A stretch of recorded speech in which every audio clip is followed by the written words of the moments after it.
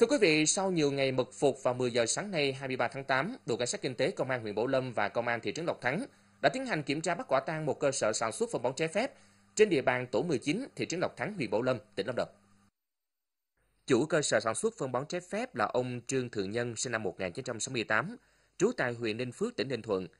Tại thời điểm kiểm tra, cơ quan công an phát hiện trên xe ô tô tải biển kiểm soát 85C03242 có 142 bao phân hữu cơ vi sinh sinh thái Bio 4 dùng cho cây ngắn ngày. Tiếp tục kiểm tra trong kho chứa hàng, cơ quan chức năng đã phát hiện thêm 271 bao phân bón mang nhãn hiệu nói trên. Tất cả số phân bón trên đều do công ty trách nhiệm hữu hạn sản xuất thương mại và dịch vụ Vàng Long Nông nghiệp có trụ sở chính đóng tại quốc lộ 1A Phước Thuận, huyện Ninh Phước, tỉnh Ninh Thuận.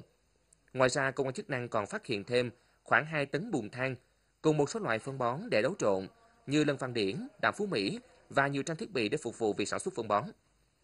Cùng với đó, cơ quan công an còn thu giữ hai máy đóng bao, một chiếc cân bàn và 880 vỏ bao để đóng phân bón. Được biết nguyên liệu chủ yếu là than bùn để sản xuất phân bón nói trên, được chủ cơ sở mua từ công ty Itaco Lâm Đồng. Tại thời điểm kiểm tra, chủ số phân bón nói trên không xuất trình được bất cứ các giấy tờ hợp pháp để chứng minh nguồn gốc số phân bón nói trên.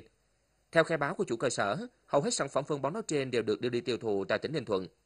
Hiện toàn bộ số phân bón hơn 20 tấn cùng xe ô tô và các thiết bị đã bị công an huyện Bảo Lâm lập biên bản niêm phong tạm giữ để tiếp tục điều tra xử lý theo quy định của pháp luật. Vào lúc 11 giờ ngày 9 tháng 4, trong khi dọn vệ sinh tại phòng 202 của khách sạn, Trang đã lén lút trộm cắp của anh Otis McMurray Rolex, một điện thoại di động Samsung Galaxy A3